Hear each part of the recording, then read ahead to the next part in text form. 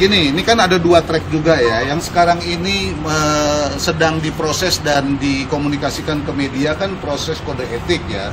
Tapi kode etik yang ditampilkan itu lagi-lagi nggak transparan ya menurut saya karena yang diperlihatkan adalah hanyalah soal eh, sidang dan hukumannya. Padahal ini kan obstruction ya. Obstruction itu jauh lebih buruk dan berbahaya dibandingkan dengan persoalan utamanya soal pembunuhan berencana itu. Ya, kenapa? Karena ini menyangkut institusi dan kalian lihat yang diperiksa juga terlibat banyak. Nah sayangnya, ya transparansi akuntabel yang selalu diucap-ucap gitu ya cuma menampilkan menampilkan itu ya. Kita tidak hanya butuh hukuman yang berat untuk membersihkan. Karena ini bukan cuma soal pembersihan tapi juga soal reformasi institusinya. Karena itu pola-polanya bagaimana cara dia melakukan obstruction of justice dan bagaimana berjaringan karena ini bukan oknum Mas. Ya saya khawatir juga kalau saya bilang uh, institusi. Tapi kalau jumlahnya 97 yuk mau bilang bagaimana?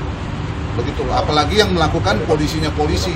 Dan ini nanti akan jadi uh, minggu depan saya kira uh, pusatnya terutama yang orang yang paling dianggap sangat keras dan membuat masalah karena tekanannya langsung ke keluarga yaitu uh, karopaminalnya ya ya Brigjen Hendra itu yang sekarang juga istrinya aktif melakukan pembelaan-pembelaan dan lain sebagainya tapi tidak secanggih PC ya kan dia uh, main. Tapi itu itu juga rasa keadilan yang yang ini.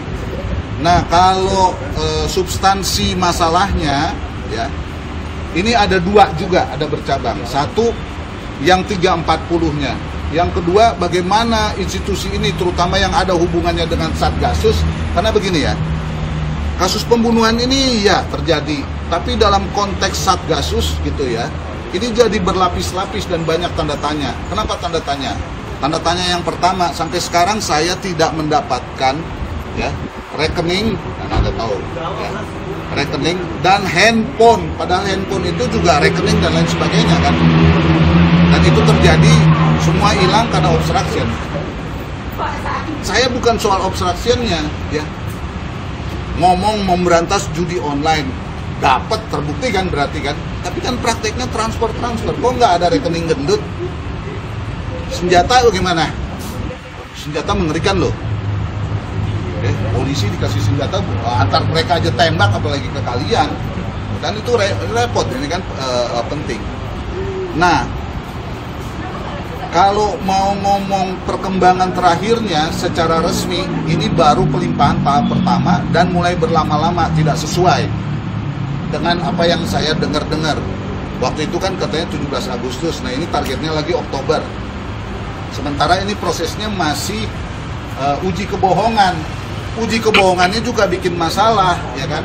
Nggak usah pakai mesin yang mahal yang dibeli oleh negara, ya kan? Kita semua saja sudah tahu bahwa kebohongan yang dilakukan oleh Sambo, PC dan dan teman-temannya sudah pro justisia SP3 nggak perlu pakai mesin kok sekarang tiba-tiba mesin katanya jujur gitu loh yang diperiksa udah jelas cabut cabut cabut cabut. Memang hukumnya bilang dia boleh cabut boleh nolak boleh bohong kita dia nggak perlu diperiksa yang kayak begitu. Terus dibilang wah jujur gitu.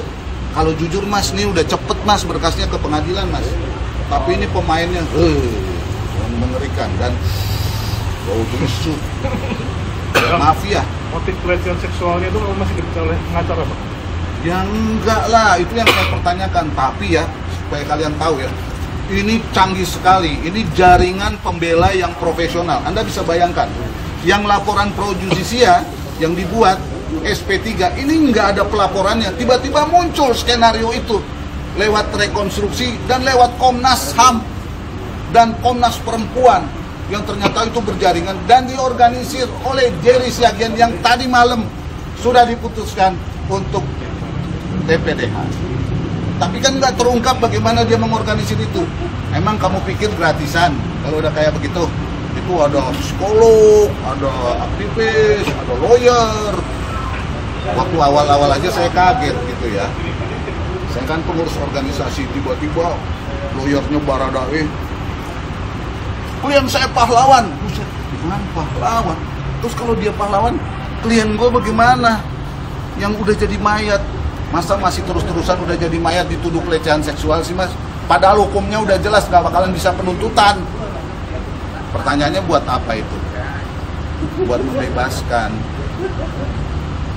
Kan? gratis diurus kayak gini ada yang ngurus itu yang harus kita eh, jaga ya nah sekarang kelihatannya kejaksaan juga hati-hati dia nggak mau terima barang yang udah busuk karena harus dia kan yang bawa ke pengadilan. Kalau nggak ntar dia berkontribusi ke peradilan sesat loh. Error in personal loh. Salah orang loh. Ini taruhannya berat buat institusi. Kan saya sedih jadinya. Kan? Itu yang itu yang terjadi ke arah peradilan sesat